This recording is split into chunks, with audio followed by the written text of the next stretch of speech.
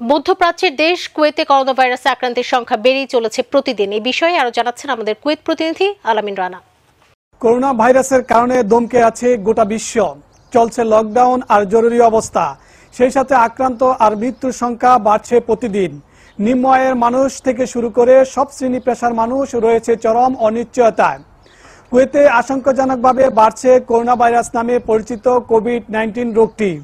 এর মধ্যে তিন হাজার দুইশো অষ্টাশি জনের শরীরে মিলছে এ ভাইরাসটি।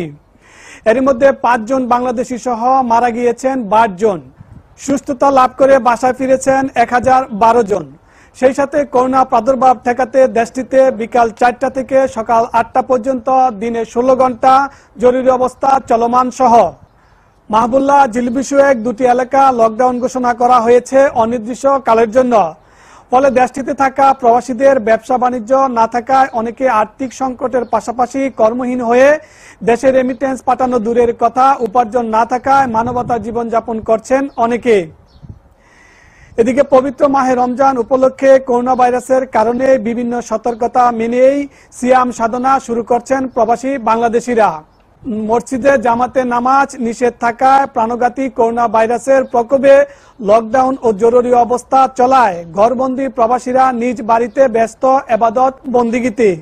কুয়েতে বাংলাদেশি মোট আক্রান্তের সংখ্যা দুইশো আশি জন।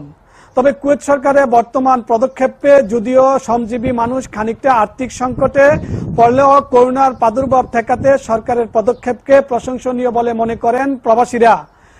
সেই সাথে মহামারীর এই দুর্দিনে কর্মহীন প্রবাসী পরিবারগুলোর পাশে দাঁড়াবে সরকার, এমনটা প্রত্যাশা কুয়েত প্রবাসী বাংলাদেশিদের।